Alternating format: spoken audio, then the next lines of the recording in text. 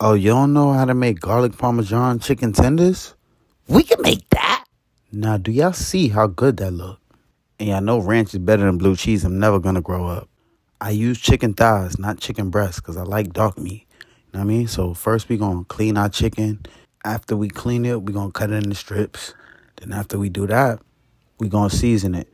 Get some salt, get some garlic, you know what I mean? Some pepper, some complete, some olive oil. I ain't have no mustard, but if you got some mustard, do that.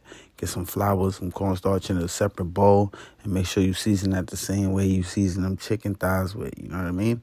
Then everything should look like that. Crack an egg. Ooh, we drop everything. Shake that thing. Then you're gonna pat it dry too. Then you're gonna shake that thing again. After that, should look like that.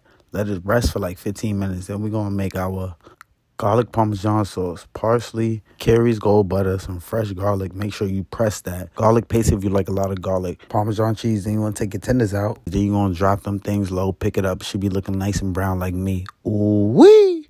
You see that right there? Then, once that bad boy out, you're going to put your sauce, you're going to shake that thing, and it's going to come out looking like that. Y'all see how bomb that look? Now, don't tell me I ain't told you so. I showed you how to make it. Go make it.